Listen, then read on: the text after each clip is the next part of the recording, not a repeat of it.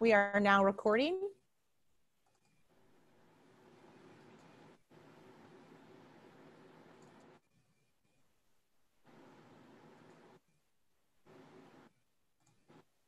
Again, welcome everyone to the neighborhood traffic calming meeting for Southwest Barlow Road between Southwest Murray Boulevard and Southwest Wilson Avenue. Tony Chow is our transportation project manager and he'll be giving the presentation this evening. Tony? All right, so this is a third of a series of neighborhood traffic calming meeting.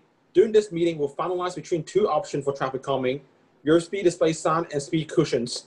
So we'll go through the PowerPoint and see where the stuff will be placed. And then after each, each after we present each of the options, then we'll go for polling and also questioning to see how you guys feel about it. So next slide, please. So as you can see, this is the project area map that will be voting in the, in the uh, for the Barlow Road uh, traffic calming project. They also be deciding between the two options tonight. And then hopefully like at the virtual open house, which, will take place in a few weeks, then we'll present you your final plan. Then you'll go to uh, petition survey and at the end of the meeting, we'll talk about those petition survey in virtual open house at the end of the meeting. So next slide. So as you can see, this is the first two options, speed cushions. So if you go through the, the uh, map slow, slowly, you see that at the bottom, you be you see the speed hump sign and also the speed cushion, and that's what it will look like in real life. And then as you can see on the on Barlow Road, there'll be three set of speed cushions, and we'll go for each location in detail. Our next slide. So the first sign you see coming from Murray Boulevard, it'll be right before you get to Barlow Court uh, West, heading east. So about 200 feet away from that, you'll see the first set of speed cushion right before you get to 142nd place, and you'll be at 14350 Southwest Barlow Road. So for both direct, it'll be for both directions. So it'll be a full set of speed cushion that will stretch across the whole road, roadway. Our next slide. So about 400 feet away, once you pass 142nd Avenue, there'll be your second set of speed cushion. And that'll be roughly at 14180 Southwest Barlow Road. And then once again, it'll stretch across the whole roadway. So both sides will see it. Uh, next slide. And then approximately the other 400 feet away, between 141st place and 140th place, you see your third speed cushion, and once again, it stretch across the whole row, and it'll be at 7105 Southwest 140th Place, right near 14075 on Barlow Road. And then, as you can see, if you head further east, there'll be a speed hump sign facing westbound traffic at 14020 Southwest Barlow Road, and that will get you to Wilson Avenue. Uh, next slide. So this is what a speed cushion looks like in real life. As you can see, it's not your traditional speed hump. It has gap in the middle for emergency vehicle to pass through. And it's really good for drainage. And it's also really effective for slowing down traffic. So, and then you, you can also see that you have this, the relevant pavement marking. So it'll be really visible at night and people should be able to see it from both sides. And they should be, they will be aware that there's a speed cushion ahead. And it's really effective measure to, to slow down traffic in general. And then this, this will bring us to the first polling question.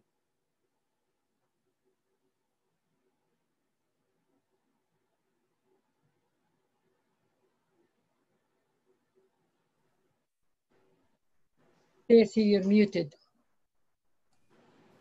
Thank you. Sorry about that. I will put the first polling question up now, and so participants can vote. You'll have 30 seconds or so, and here you go. So this polling question will be about whether you, how you feel about the speed cushion at this, at this moment. Do you support it? Do you uh, uh, personally against it? Or you feel like you have some personal concerns? So please choose one of the three options at this time.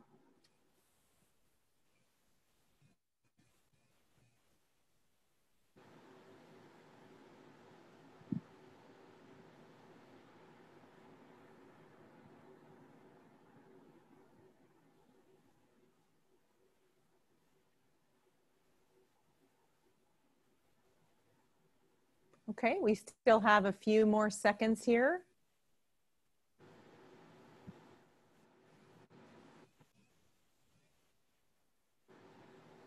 Okay, and we're going to end the polling now.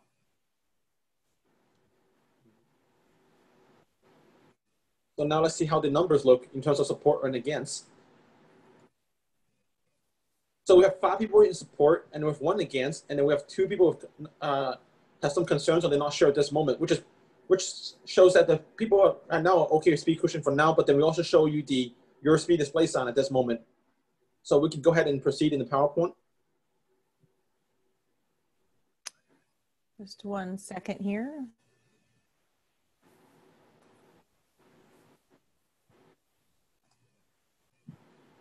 And then once again, if you just have concerns about the speed cushions or about where they're placed or where they, they'll be, they're, they're, where they are located, please tell us at the either the Q&A at the end of the before, before the end of the meeting or provide us feedback and we'll have information for you at the end of the PowerPoint for you to send us feedback if you do not want to share it during the meeting.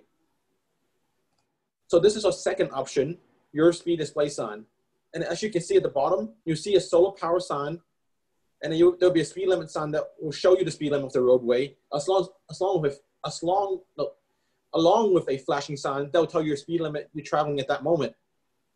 So if you see the speed, speed limit, the sign will flash. If you're below the speed limit, which is 25 at this moment, then you will not flash.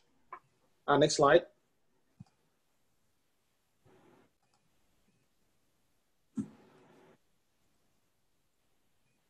So as you're heading eastbound from Barlow Road, after you come from Murray Boulevard, you see your first set of your speed display sign at 14270 Southwest Barlow Road after you pass 142nd Place.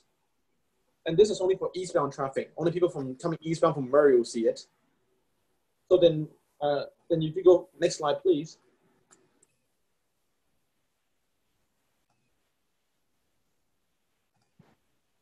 So for westbound traffic coming up the hill from Wilson Avenue, you see one right after you pass 142nd, 141st place as you come up the hill, and you'll be roughly in front of 7095 Southwest Barlow Road. So then next slide, please. So there'll be one set of USB display sign for each, each uh, direction, and that's what it looks like in real life. This is on Hart Road near Bainey. And as you can see, there's a so, like like I mentioned, a solar panel sign on top, along, as long as the speed limit on the roadway, and then the speed that you'll be traveling as you pass by on the roadway. Uh, next, and then we'll pull, we'll have a polling question at this moment. How you feel about this option? Okay, I will now give the second polling question.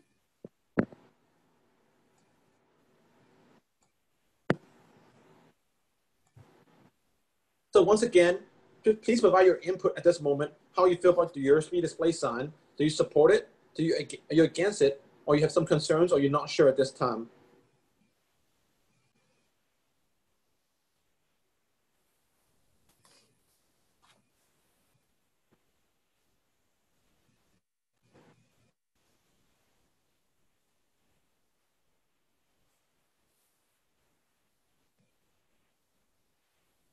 Okay, the polling will close in just a few more seconds. Make sure we got everybody here.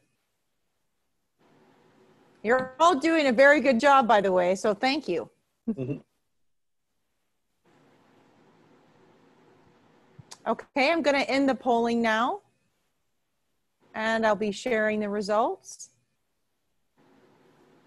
So it looks like there's some concerns about the USB display sign, and there's, there's, there's not as, as much evidence support for it compared to speed, uh, speed cushions. So then we'll go ahead and move on in PowerPoint and then go through a few more things before we have, we'll, then before we go have a conclusion and also questions. Okay, I'll stop sharing the results now. So, so we can go ahead and go to the next slide, please. So now at this moment, since we already did two polling questions, now we open up to the residents. Do you guys have any questions or any input? And then once again, if you're not comfortable sharing your input or question at this time, you can also contact us to, by email or phone if you provide, wish to provide input personally. But this time you can ask any question you like, as, as well as provide any input you like. Okay, so what we'll do now is I've got a few questions that are in the queue. And so I will go ahead and read the question and then Tony will answer the question and or Tony, if you're not sure, you can always, um, Jabra could possibly answer the question. Um, okay, so the first question comes from Kate. Tony, could you mention that there won't be a yellow line painted on the road for participants when doing the speed humps? Thank so you. when, okay, sorry. So when doing the speed cushions, we typically don't put the center line. We just put the the speed cushion across the roadway. And then, but then we also center line something that we could put, but in general, like it's something that you will see a speed cushion without the center line. And then, Jabra, do you have anything to add about the center line? Um, yes, typically we don't mark a center line on roadways un unless you know the street carries approximately 6,000 vehicles per day. Uh, there is two thoughts about the center line. Sometimes people they think when you add the center line, it makes it look like a highway and people will drive faster. There is also another thought that when you mark the center line, it will define your lane and it will make the traveled way kind of narrower so people tend, tend to slow. Uh, for Barlow Road, I, I, my opinion on it, I don't recommend having a center line. Speed cushions with speed mar with markings on it probably is the best solution for, for, for this roadway at this time. Okay, the next question is, are the speed signs as effective as the speed cushions? Speed cushions are definitely more effective because they're physical measures, something that everybody feel going across the roadway. Whereas your speed display sign, someone could choose to ignore the sign or they choose to go faster, see how fast the sign could flash. So, you know, in, in, in, in general situation, speed cushions are more effective overall. Okay, thank mm -hmm. you.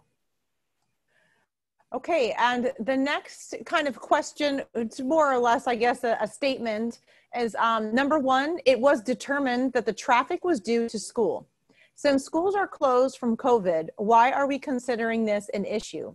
It is anticipated that school enrollment will decrease after COVID as many parents will not want their parents to go to school with the many many parents will not want their children, I think, um, is what the, yeah, want their children to go to school with a mask.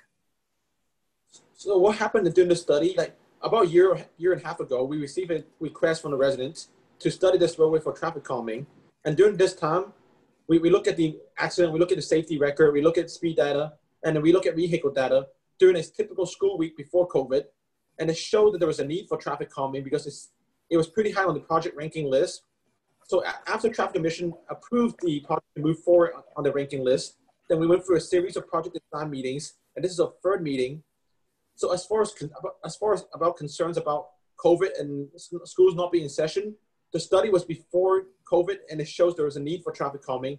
And, but then residents will have a, at a later point they'll have time and place for us to provide your input whether you support the project to move forward for, for funding. And then Jabra, do you have anything add, to add?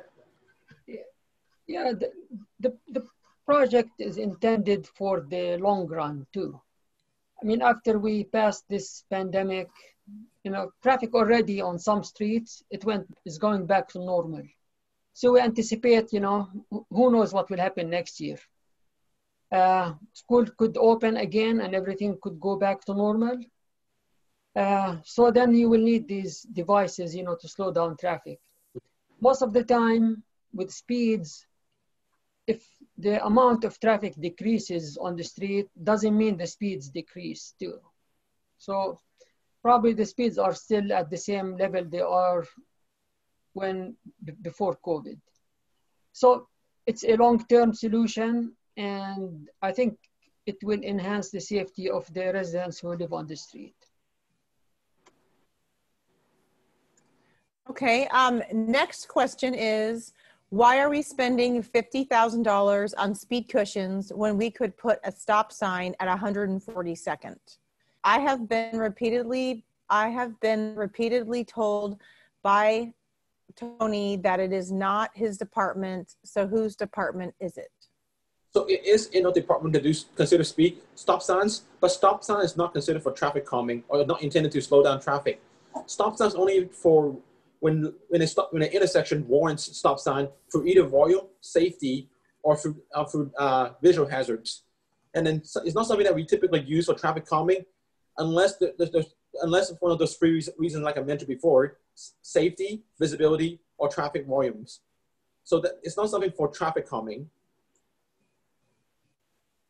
And then we also did a stop sign warrant for 142nd Avenue and Barlow Road, and it did not meet the warrant, uh, according to MUTCD, which is the federal standard for considering stop signs, and it did not meet the warrant for it. So at this moment, like for the traffic, for traffic calming purposes, we can either consider your speed display sign or speed cushions. And then anything else to add, Jabra? I think you mentioned most of it. Yeah, stop signs are intended to assign the right of way. They're not used to slow down traffic. The reason why is when you don't have a high volume of traffic on the side street and you have a stop sign on the main street, you know, drivers may stop the first time, second time, and then they don't see anybody on the side streets. So what they, what they do, they intend to run the stop sign. So by doing this, you make the situation worse, you know, than what it is right now. So it could be a safety issue if you install unwarranted all-way stop control at an intersection. Okay.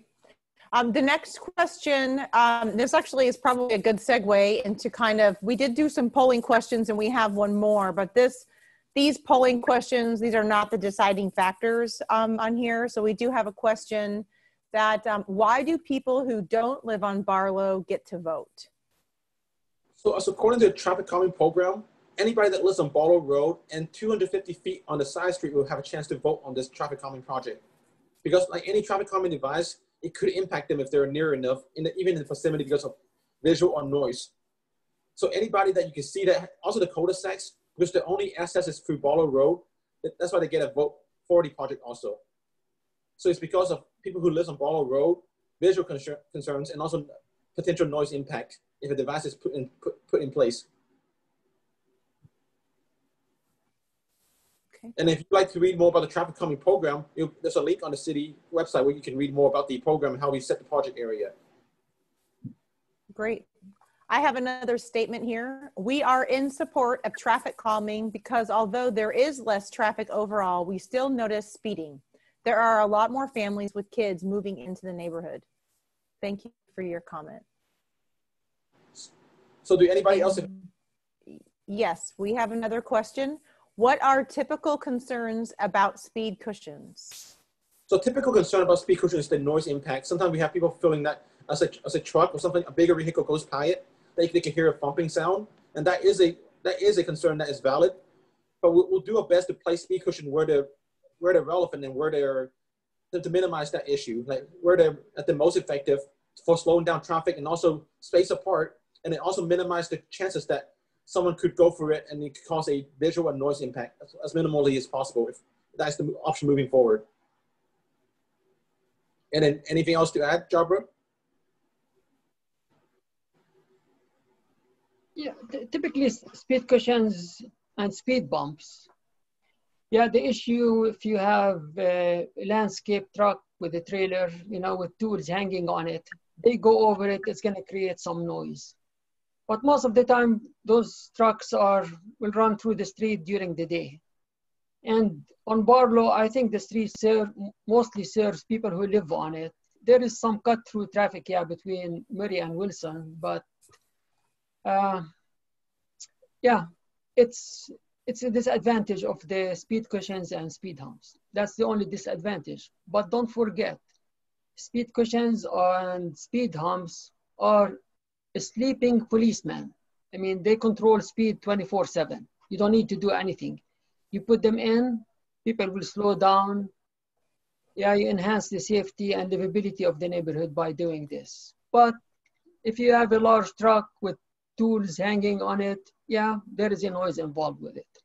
But like Tony mentioned, we tried to place them kind of at the property line where you cannot, uh, you know, you won't see it if you look from the window of your house. And also, you know, it's, it's less noise that because the noise will not bounce off of the front of the home. And it's the neighborhood choice. Okay, we don't have any more questions at this time. I think we can go ahead and do, oh, I'm wrong. okay, there are two more here. And then maybe what we'll do is do the next polling question. And then if there's more questions, we can kind of come back to those. Um, or this is, yes, so one more question, two more questions here. I okay. feel as if the your speed sign is a little too far removed from Murray Boulevard where people tend to pick up speed and mm-hmm. people's speed should be checked sooner before approaching the blind hill in the center of Barlow. Is there room to move its location further west? So if that is the option moving forward, yes, we can consider moving the location. If that's the op option after the, tonight's meeting that we choose to move forward with it, that could be considered. Okay. Next question. Given that most people who will have to vote on any proposal are not attending these meetings, do you have any experience which option is most likely to be approved by our less involved neighbors? So we feel at this meeting, hopefully with, at the end, we'll have a polling question to see which which direction people are leaning towards and whether speed cushion or your speed display sign. And then after this meeting, we'll also have a virtual open house where there'll be one more chance to, for people to attend the meeting. And then afterward, there'll be a support survey that will be mailed to your house. And then hopefully with the two, at least two more opportunities to speak out and provide your input, we can hear how people are feeling. And then also anybody that does not attend, we'll also post the meeting on the city website and then also we can post additional information if they want to talk to us in private or they want to reach out by email or phone. We can always talk to them at any moment about the meeting if they choose not to provide their input at this meeting. And then Jabra, anything else? Yeah, from my experience, people who don't attend, it means they don't care what's happening on the street. You know, I've been doing this for at least 20 years uh, dealing with traffic calming and uh, neighborhoods. Most of the time, they don't care. And truly, you cannot guess, you know, are they for it or not? Most of the time, if they're away from the street, they will probably agree. I found out that if there are multi-family units on the street, that's where it's really difficult to have people to agree on a traffic calming plan because most people who live in apartments, they don't care. You know, they live there for a short time and typically it's really hard to get, to get them to agree on the plan or disagree even. Uh, for Barlow Road, you know, if it came from the neighborhood before the request, before we started this process, at least 50% of the people who live on Barlow Road said, yeah, we want to start this program and have a project on Barlow Road. So at least, you know, I'm, I'm guessing at least 50% are in agreement if we do a poll maybe. Uh, yeah, so it's, it's really hard to guess, you know, are, are they, are they gonna be all for it or not? And in a minute, I will explain the process of how do we vote on the plan and, and finalize it at the end. Great. And we just have one more comment. I just want to say thanks to those who have started and participated in this process. Okay. Okay. So let's go ahead. And then if there's more questions towards the end, that's just fine. Let's go ahead and do, I think we only have two more slides, Tony. Is that about right? That's correct. So if you have any more questions that you, you have after the meeting, feel free to contact us. And then we'll have contact information both on the city traffic calming website and also at the end of the presentation. If you want to provide input per in person, or if you have something that comes up later on that you have something to ask us or some input. And at this moment, we'll go to our final polling question.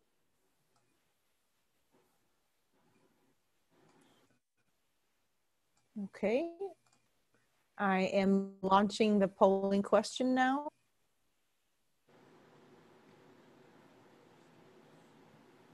So now please choose one of these two options speed cushion or your speed display sign as the option moving forward to virtual open house, which will take place in a few weeks.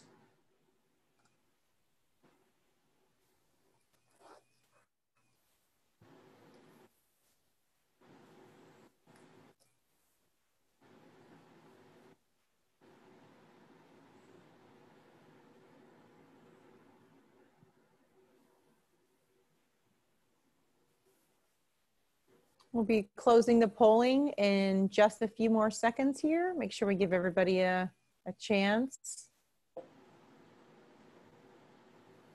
Okay, I'm going to end the polling now. And I will share the results. So it looks like a majority of the people wants to move forward with speed cushions. So that's what the city will move forward at this moment.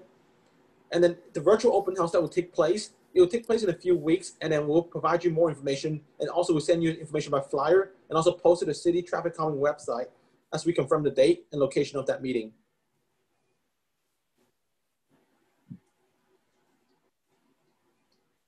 So next slide, please.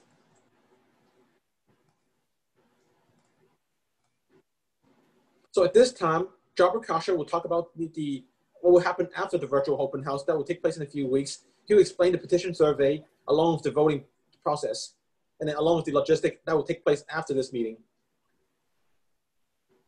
Okay.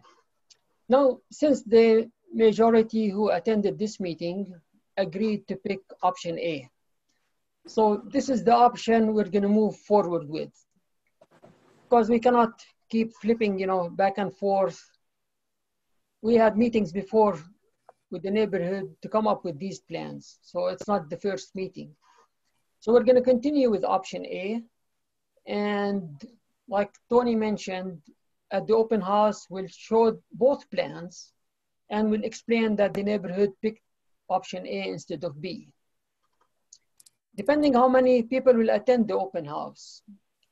If the majority of the people who attend the open house are in agreement of option A, then we'll move forward with option A. If we hear majority of the people who attend the open house against option A, then we'll come back to the drawing board to hear what their concerns are, and we could modify things. You know, sometimes people, they have a speed hump or a speed cushion in front of their home, and they say, I don't want it in front of my home. So we could tweak these things a little bit, at least to have an appealing plan that the neighborhood will agree on. So let's say we have the open house and everyone agrees on option, on option A or any option. What the city will do is we have to poll the plan. And 67% of the people who live on Barlow Road and also we go 250 feet on the side streets. If there is a short cul-de-sac that comes off the road, we include everybody within that cul-de-sac. So if, you, if you're looking at the map right now, there is a dark solid black line around it. Those are the people who will vote on the plan. So after the open house, let's say everything goes fine and we're gonna move with the plan we'll send the packet to every resident within that area that's defined on this map. In the packet, you will have a cover letter explaining the process, a copy of the plan that we're gonna move forward with. You will have a response card and a prepaid return envelope. The response card has three options. You could approve with the plan, you could check the yes, you could check no, and or you could abstain too. So the plan must receive 67% approval. And that means 67% of all the cards that they go out, we must receive back 67% with a yes. For example, let's say we send out 100 cards, response card we must receive 67% back of them saying yes on it. If we don't receive the card back, it's an automatic no. So if you don't care, you know, about the project, you have it or not, you could abstain. And if you abstain, then your household will be taken out of the total number of cards. So it will reduce the number of cards. Uh, th that's how we do the polling process. And let's say the plan receives 67%. After that, we'll schedule the plan for a hearing before the traffic commission. So this is another chance for people to come to the hearing and, you know, some people are for, maybe they'll testify for the plan or they could testify not. Uh, most of the time, if the plan makes the 67%, typically the traffic commission will go forward with it. I've never seen one that got, you know, 67% and did not make it through. So typically, if we receive the 67% approval, goes to the traffic commission, they will approve it, and then it goes to city council for final approval and construction.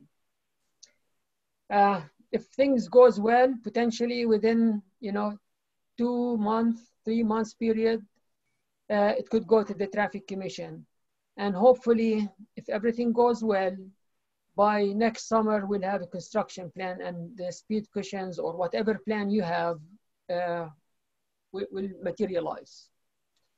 And if you have any questions about the voting or any concerns, please, you know, uh, I believe you could still use the question and answers.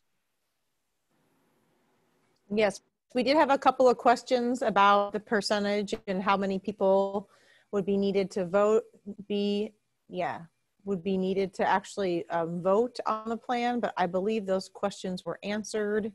So if anyone needs some clarification, please type it in the Q&A now or raise your hand if you'd like to speak.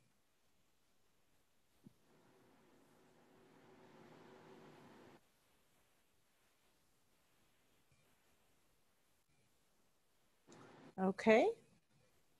It's confusing. Does a ballot that doesn't get returned get counted? Yeah, that's correct. A ballot that does not get returned does not get does not get counted. But for some reason, a household does not receive the ballot and they tell us about it. We'll send them additional ballot either by mail or in person, so they do have a chance to participate. But if they choose not to return the ballot, we'll we'll, we'll count as a no unless they state as a unless they choose to abstain. May I? Yeah, any any response card that does not come back, it's an automatic no.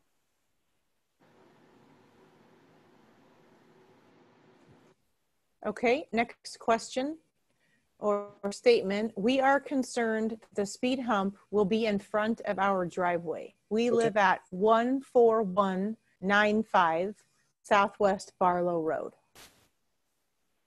14195, okay. So you talk about adjusting the location of the speed cushion. So yeah, please do provide us feedback on where you you you you you, you want us to adjust it to, and then we can consider that. There's still option, there's still options, and there's still room for moving the speed cushions a little bit to see how where people where you get the maximum support of the option. Yeah, uh, our our intention typically we we don't install speed humps in front of driveways. Mm -hmm. We've installed them close to a driveway, and it doesn't affect you know the circulation going in and out of the driveway at all. I mean, the speed humps are three and a half inches high, so the car easily goes over it, you know, and off it without any, any issues. But we will take a look at the location you indicated, and if we could tweak it, move it away more, we, we will do that.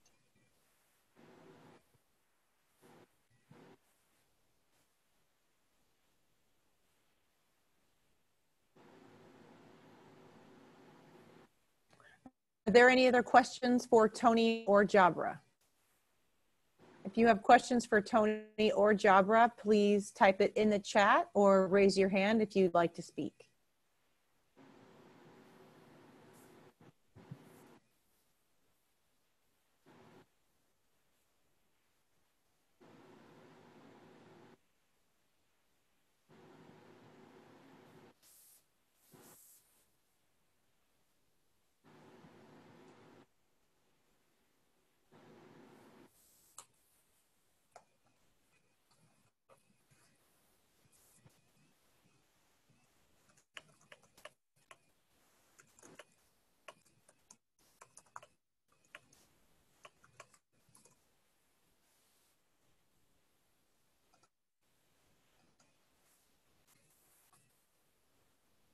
And if you have any question that you prefer to ask in person, you can we have contact information at the end of the PowerPoint if you wish to contact us in person instead of going through the, the chat box. Which is, which, and also, we this meeting will also be recorded on the city website. So if you want to go back to look at anything of the presentation or any of the meeting information, you'll be posted on the city traffic on website. And the contact information for myself and also for any traffic calming related question can also be found on the city traffic calming website.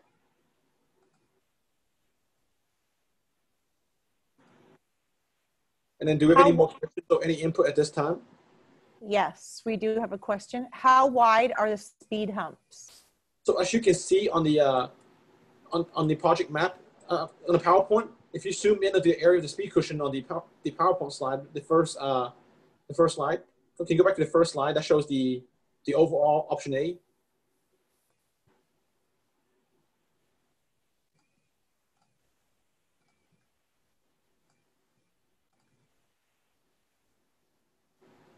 So yep, this, this, this slides. So if you can if you can all open the slide on your end, what you can see is that the speed cushion will be 14 feet across, but like Jabra mentioned, it'll only be three inches high. And you'll be forced, there'll be forced cross section. So there'll be two foot gap between each of the speed cushion. And in general, like there'll be six foot, six foot in the middle, six foot sections in the middle, and then nine, nine and a half foot sections on the ends, 14 foot long, and one and then three inches high. And it's based on the street, street width of Barlow Road.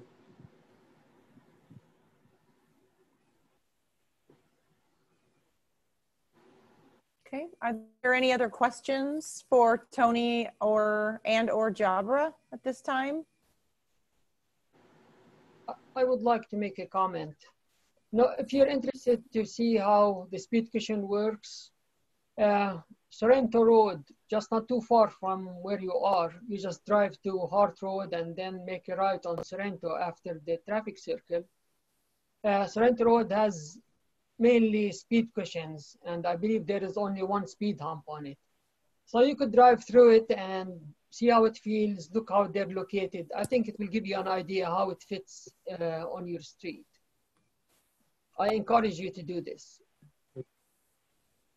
There is another question. In your experience, would this move current traffic to Barlow Court instead of Barlow Road?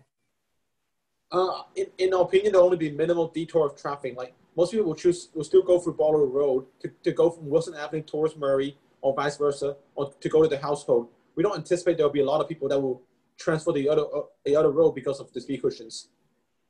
And then, Jabra, any anything else to add? Uh, uh, typically, cut through traffic are looking to reduce time. And to go to Barlow Court, you know, they have to slow down to make a right or a left to it, then drive through it, then coming out back to Barlow Road, they have to stop. So basically it's eating their time. So I don't anticipate, you know, that traffic will be shifting to Barlow Court.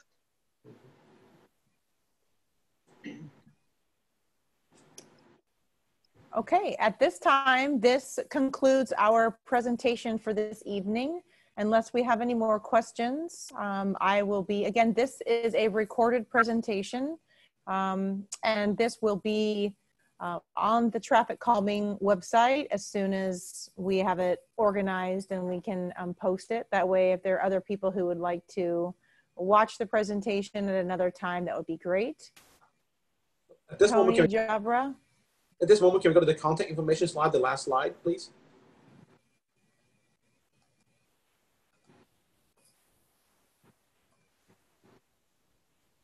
So if you have any question, once again, the meeting is posted. So if you don't want to look back at the meeting, like Stacy mentioned, you can either find it on the City Traffic Calming website once it's posted. You can also email us or call us anytime if you have any question that you wish to provide in private, or if you have something that comes up at a later moment. And then anything, anything else on your end to add, Jabra? No, I, I don't have anything to add. But we, you're welcome to call us anytime if you have any questions. And again, thank you all for participating in the meeting this evening. I know that everybody is super busy and it's the summer, people like to be outside. So um, thank you so much for attending the meeting and providing your information and your questions. And um, we appreciate you very much. So thank you. And I will stop sharing the screen now and also stop recording.